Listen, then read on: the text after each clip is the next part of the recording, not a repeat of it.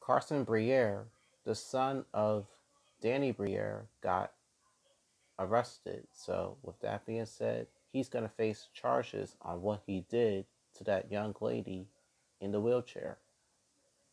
This investigation now continues, and it all took place in Erie, Pennsylvania. After all, he did make an apology, but sorry doesn't cut it. No questions being asked.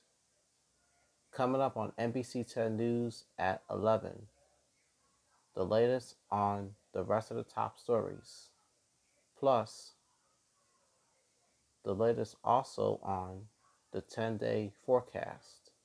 That's all coming up when we return to NBC 10 News at 11. You can find NBC 10 on the NBC 10 mobile app or even a streaming service channel. Don't go anywhere.